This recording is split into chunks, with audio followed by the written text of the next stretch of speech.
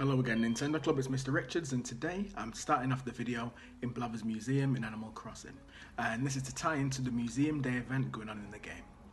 It involves you moving to all the different parts of the museum and collecting stamps and it's taking place right up until the end of the month. It's pretty fun and it might be worth checking out if you have the opportunity. In other news, there was also a surprise announcement of a new Paper Mario game called Paper Mario The Origami King, where Mario will have to team up with other characters from the Mushroom Kingdom to stop evil King Olly and his origami army from taking over the world. So that might be something that you might want to keep an eye on over the coming months.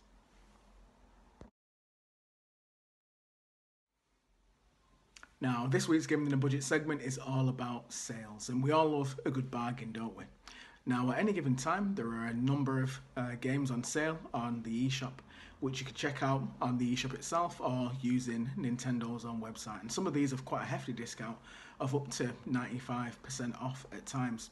So, if you've exhausted all of the methods of budget gaming, this might be another cost effective method to consider.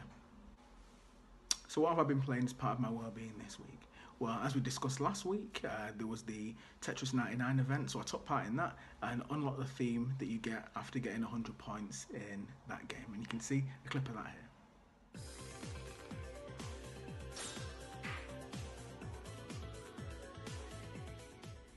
Now, due to it being half term next week, we won't have a Nintendo Club video, but I'm looking forward to making more for you once the term resumes.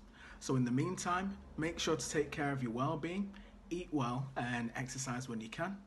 Uh, thank you for watching all of these videos and I look forward to speaking to you guys again soon.